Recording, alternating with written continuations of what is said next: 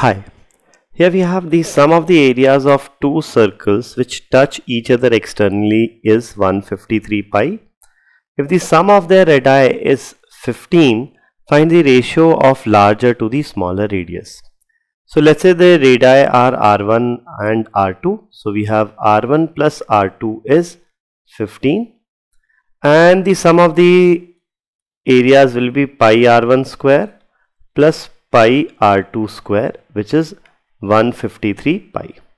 So pi here gets cancelled out we have r1 square plus r2 square is equal to uh, 153. Also we have r1 plus r2 is 15. So let's do one thing. Since we have square over here, let's square both these sides. So we'll have r1 square plus r2 square plus twice of r1 into r2 is 15 square which is 225. So from here r1 plus r2 square is 153. So we have 153 plus twice of r1 into r2 is 225.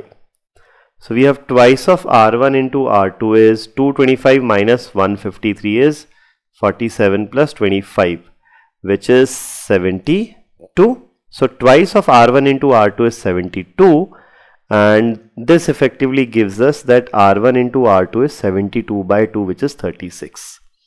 So we have these two equations that the product of two numbers the two radii is 36 and sum of the two radii is 15.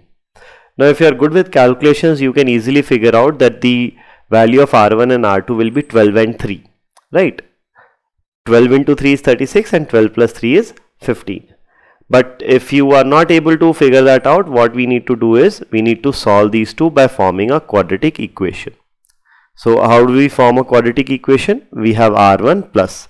Instead of R2 here, we can substitute R2 with 36 by R1 which is equal to 15.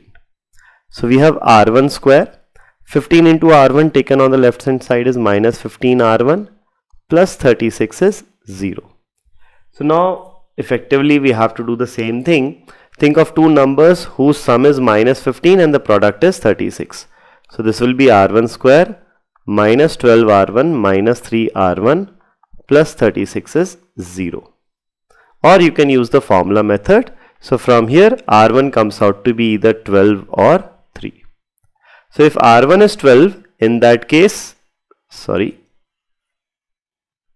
so if R1 is 12, in that case R2 must be 3 and if R1 is 3, in that case R2 must be 12.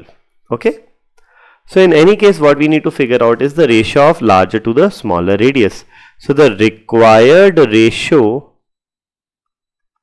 in any case either this or this the larger radius is 12 and the smaller radius is 3.